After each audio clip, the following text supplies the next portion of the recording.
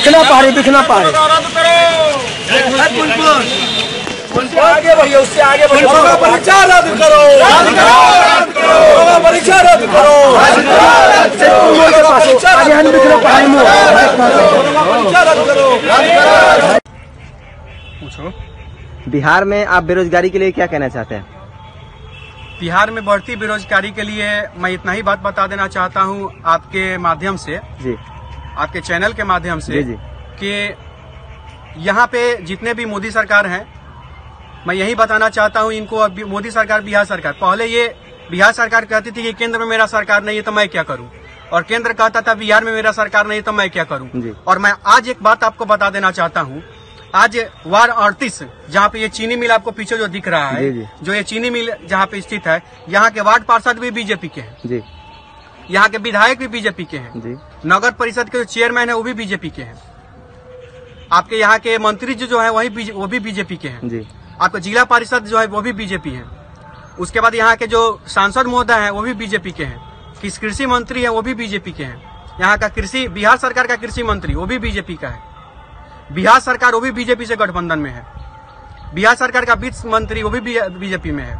भारत सरकार में प्रधानमंत्री वो भी बीजेपी से है। राष्ट्रपति बीजेपी से है। उपराष्ट्रपति बीजेपी से मतलब कि नीचे से लेकर के ऊपर तक बीजेपी ही बीजेपी भरा हुआ है। जी।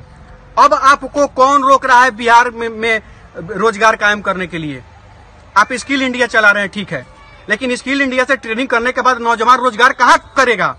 बिहार में सारे कल कारखाने बंद हो रहे हैं चीनी मिल बंद पड़ गया है। आप कोई मेसी में बटन कारखाना जो चलता था लोग हज़ारों लोग उससे रोज़गार पाते थे बटन कारखाना बंद हो गया है। मैं यही पूछना चाहता हूँ बिहार सरकार से। बिहार सरकार पहले विशेष राज्य चाहिए, विशेष राज्य चाहिए, विशेष राज्य चाहिए। दत्तरी के विशेष राज्य चाहिए।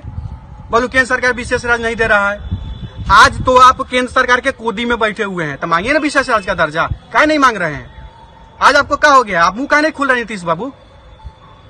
पहले बतियाते थे, बिहार में बेरोजगारी है और इसका फुल टू फुल जिम्मेवार बिहार सरकार है। क्यों नहीं कोई कल कारखाना खुल रहा है? काहे तकलीफ़ इतना होता है ना, यहाँ यहाँ दर्द होता है, यहाँ। जब सप्त क्रांति में कूच कूच के ठूस ठूस के और जननायक में जनसाधारण में हमारा भाई सब जाता है पंजाब कमाने, दिल्ली कमाने, और वहाँ फुटपाथ पर बैठकर पेपर पे चावल दाल खाता है, रोटी खाता है, पेपर पे पेपर पे रख के मैंने देखा है। बहुत तकलीफ़ होती है, बहुत दुख होता है उस दिन। वो सब चीज़ देख के कि काश मेरे बिहार में एक फैक्ट्री होता, मेरे बिहार में कल कारखाना होता तो मेरा भाई आज यहाँ बिहार से बाहर निकल के जाके वहाँ धक्के नहीं खाता और गाली नहीं सुनता, माँ बहन की गाली नहीं सुनता वहाँ पे। नीच भावना से देखा जाता है हम लोगों को वहाँ बिहार से बाहर, बिहारियों को।